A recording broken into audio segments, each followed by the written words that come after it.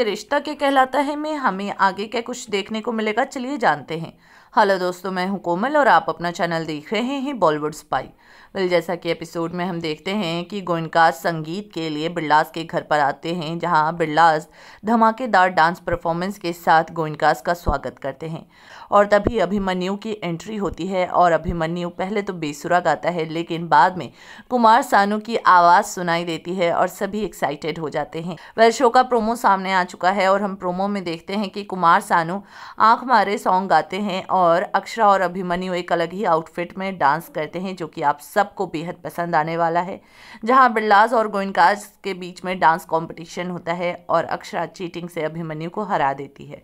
और अक्षरा की टीम जीत जाती है और अभिमन्यु हैरान होता है ये देखकर और हर्ष कहता है कि तुम बस अक्षु अक्षु करते रहो, देखा ना, उसने चीटिंग करके तुमको हरा दिया। पहला ये होगा कि ये बात अभिमन्यु को बुरी लगी है या कोई नॉर्मल बात ही समझकर अभिमन्यु जाने देगा। वेल जानने के लिए देखना ना भूलें।